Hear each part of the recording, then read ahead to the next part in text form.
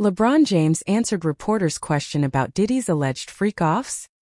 A rumor circulating online claims NBA superstar LeBron James remarked in late September 2024 about sex trafficking charges against Sean Diddy Combs that, I prefer not to speak on this matter until I know how much information becomes public knowledge. For example, at Wall Street Silv, a user on X with over 1.4 million followers posted archived. A meme displaying a photo of James taking questions from reporters and another picture of James posing with Combs. The post and meme referenced the fine print of the meme, which said James' quote constituted a response to an unidentified reporter who asked about how many Diddy party freak-offs has he attended. The post received over 3 million views. The meme also appeared in a popular TikTok video with over 1.4 million views, as well as in another TikTok video, and on America's Best Pics prominent comments with the most likes that appeared under the former TikTok video showed users believe the quote was genuine. For example, one comment with nearly 40,000 likes referred to the purported James quote. That's the most guilty comment I've ever seen outside of a confession. However, our online search turned up no record of James ever saying the words in the meme.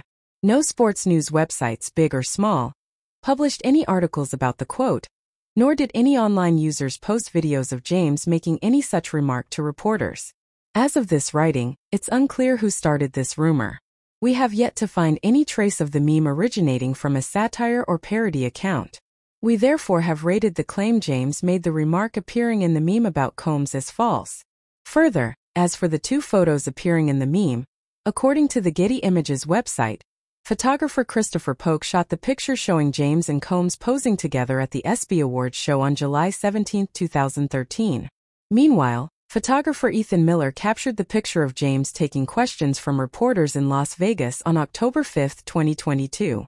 The charges against Combs. The fake James quote spread online in the days following Combs' arrest on September 16. The U.S. Attorney's Office for the Southern District of New York charged Combs with various counts of racketeering conspiracy, sex trafficking and transportation to engage in prostitution. Freakoffs. The meme's mention of freakoffs referenced alleged sexual marathons between female victims and male sex workers. The New York Times reported the sex acts allegedly involved drug use and coercion, and that Combs purportedly told victims he'd use films of those acts against them if they spoke out. James reportedly unfollowed Diddy in May 2024. On May 22, 2024, Vibe.com published that James was one of several celebrities to unfollow Combs on Instagram.